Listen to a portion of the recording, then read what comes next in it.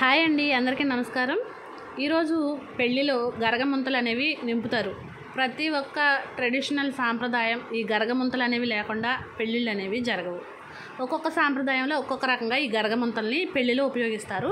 అటువంటి ఈ గరగముంతలు నింపి అలాగే పెళ్ళి కొడుకును చేసి హారతి ఇచ్చే సాంగ్ని ఈరోజు మీకు నేను షేర్ చేస్తున్నాను. పెళ్ళి కొడుక్కి నలుగు పెడతారు ఒక పక్కన పెళ్ళి సామాగ్రి అంతా సర్దుతూ ఉంటారు. ఈ టైంలో మన పెద్ద ముత్తైదులందరూ కూడా అబ్బాయికి హారతినిస్తారు. ఒక్కొక్క ట్రెడిషన్లో ఈ హారతి సాంగ్స్ అనేవి చాలా ప్రాముఖ్యతని సంప సంతరించుకుంటాయి. అలాగే ఈ మధ్యకాలంలో ఇలాంటివన్నీ కనుమరుగైపోయాయి. ఓన్లీ హారతి మాత్రమే ఇస్తున్నారు. హారతి సాంగ్స్ అనేవి ఎవరికి రాక ఎవరు కూడా పెళ్ళిళ్ళలో ఉపయోగించుకోవట్లేదు. కనీసం మీరు నేర్చుకునే టైం లేకపోయినా సరే ఇటువంటి పాటల్ని పెట్టుకుని హారతి ఇవ్వడం ద్వారా ఏమవుతుంది అని అంటే మన సంస్కృతి సాంప్రదాయాన్ని మన పిల్లలకి అందించిన వాళ్ళం అవుతామన్నమాట. వాళ్ళు కూడా ఇవన్నీ కూడా పాటిస్తూ వాళ్ళ పిల్లలకి కూడా మన సంస్కృతి సాంప్రదాయాల గురించి వివరించి చెప్పగలరు. దీని ముఖ్య ఉద్దేశం ఇదేనండి. మీరు తెలుసుకోవటమే కాకుండా మీ పిల్లలకు కూడా నేర్పించవచ్చు అనమాట అంతేకాకుండా మన ఇంటికి వచ్చిన వారు మన పెళ్ళిలో ఇలాంటి సాంప్రదాయాన్ని చూసి వారు కూడా తప్పకుండా పాటించే విధానం అలవడుతుందనమాట ఇలాగ మనం ఒకరి నుంచి ఒకరం ఇలాంటి సాంప్రదాయాలు అనేవి నేర్చుకుంటూ ఉంటే మన సంస్కృతి సాంప్రదాయం కనుమరుగవకుండా భావితరాల వారికి అందించిన వారం అవుతాము. నా వీడియో యొక్క ముఖ్య ఉద్దేశం నేను అందుకే పెడుతున్నాను అని ఈ వీడియో ద్వారా మీకు తెలియజేస్తున్నాను నాకు చిన్నప్పటి నుంచి చాలా ఇష్టం.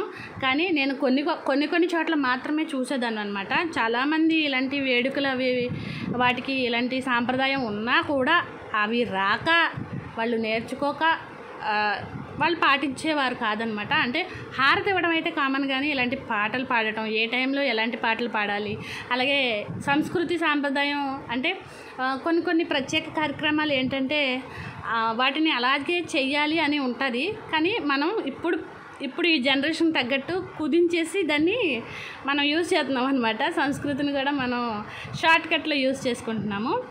అలా కాకుండా సంపూర్తిగా పూర్తి చేసుకున్నట్లయితే మనం ఎప్పటికీ కనుమరుగవకుండా మన సంస్కృతిని మన భావితరాల వరకు అందించవచ్చు. సో అదనుకోకుండా విన్నారంటే నా భావాలు ఏవైతే ఉన్నాయో మీకు అర్థమవుతాయండి. ఓకే ఫ్రెండ్స్ ఇవాళ ఈ హారతి సాంగ్ని షేర్ చేస్తున్నాను. ఎవరికైనా ఇంట్రెస్ట్ ఉంటే వినండి.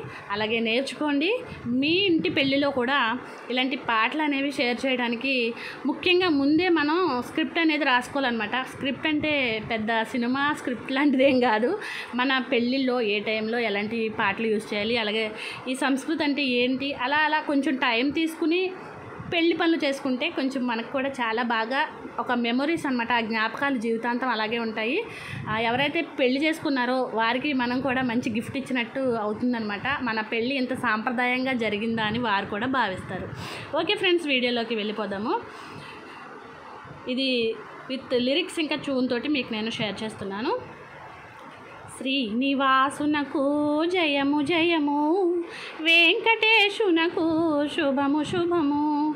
శ్రీనివాసునకు జయము జయము. వెంకటేశునకు శుభము శుభము. పద్మావతిని పె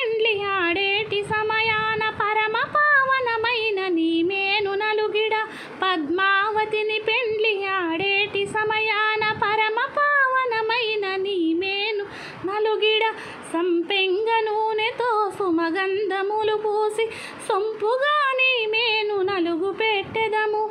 సొంపుగాని మేను నలుగు పెట్టెదము. రావయ్య స్వామి నలుగు పెట్టెదము. రావయ్య స్వామి నలుగు పెట్టెదము. రావయ్య స్వామి నలుగు పెట్టెదము. రావయ్య స్వామి నలుగు పెట్టెదము. శ్రీనివాసునకు జయము జయము.